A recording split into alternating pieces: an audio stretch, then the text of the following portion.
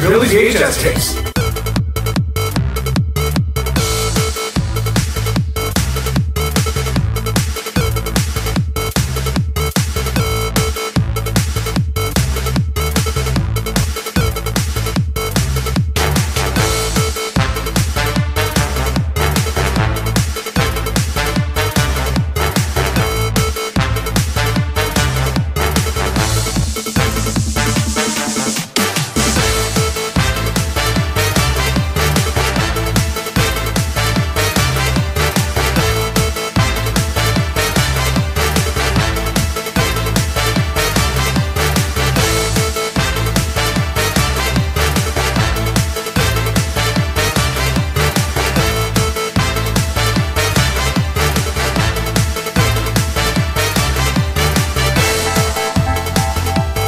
I have over 500 tapes, and I'm gonna review them all.